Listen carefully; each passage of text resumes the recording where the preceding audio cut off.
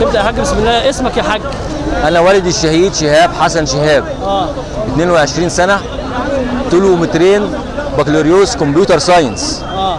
شهاب أصيب يوم 28 يناير في ميدان التحرير أمام مسجد عمر مكرم بطلق ناري في الرأس. وقعد أسبوع في المستشفى. وربنا كرمنا يوم 4 2 شهاب استشهد. ما بين الجمعة يوم 28 يناير ويوم الوفاة 4 2 كان في يوم ثلاث يوم الثلاث دوت شهاب توفى 7 مساء. وبعد ما توفى كتب ش... والدكتور كشف عليه. لقاه خلاص توفى. نده. آه، للممرضه اسمها حنان تجهز شهاب عشان ينزل تحت وهي بتجهزه. شهاب رجع تاني للحياة وعمل كده.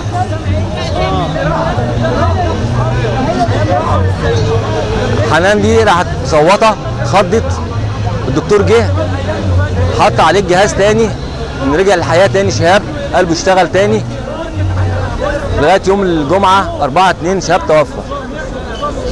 ده قصة شهاب بكالوريوس كمبيوتر ساينس. 22 سنة. أنا عايز أقول إن أنا واثق في المجلس الأعلى للقوات المسلحة. وواثق في القضاء المصري. وواثق في الدكتور عصام شرف إنه هيجيبوا لنا حقنا. وعايز أقول للدكتور عصام شرف يا دكتور حضرتك أقوى رجل على الكرة الأرضية. أنت الوحيد رئيس وزراء.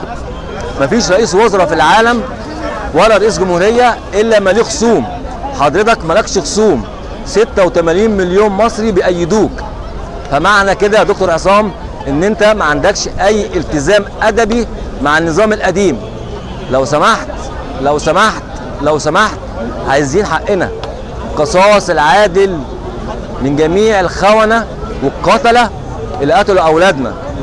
إحنا في ثورة يا دكتور عصام فلازم تكمل معانا الثورة ديت. ويا دكتور عصام أنا عايز أقول لحضرتك حاجة تانية برضه مهمة جدا.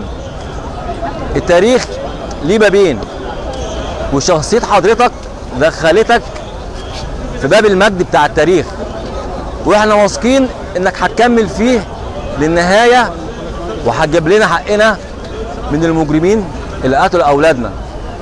وطبعا عارفين إن أنت هتجيب لنا حقنا برضو من الدولة للشهداء والمصابين. والمصابين يا دكتور عصام تعبانين جدا جدا جدا. اسمك يا حاج بقى تليفونك عشان لو حد عايز يتواصل. وهتفهم رسالتي يا دكتور عصام لما تشوف عين أولادك. تبوس على دماغهم وتبص في عينيهم وهتحس أنا بقول لك إيه. وأنا اسمي حسن عبده عبد المجيد شهاب. تليفوني 017 84 94 534 وعايز أوجه رسالة للعالم كله إن مصر هي البلد الوحيدة الأولى في الشرق الأوسط. شكرا يا حاج شكرا.